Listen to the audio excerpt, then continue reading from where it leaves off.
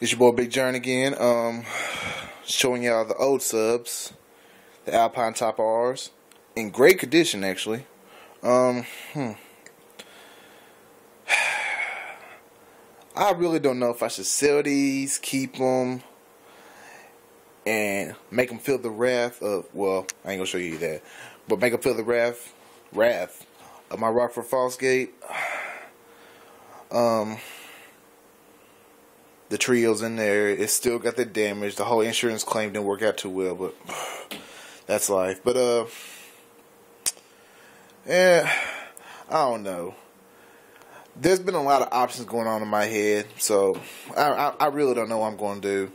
I don't know if I'm gonna go with them, that, something else, but I don't know. We'll we'll see. We'll see. Oh, by the way, just stay tuned on realmofexcursion.com or pwkdesigns.com slash forum.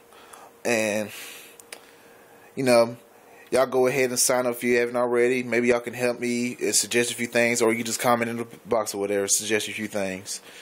Um, well, that about pretty much sums it up. This your boy Big Jern, and I'm out. Oh, oh, oh, and before I go, if I do decide to sell these, I will let y'all know. Um, go ahead and comment on this video if you're interested in buying them just in case, because I will sell these for like super dirt cheap. Like, I'm talking like a hundred for both of them things. A hundred dollars for both of them things. Like, used on eBay is more than that, I think. But yeah. Alright, y'all. I'm out.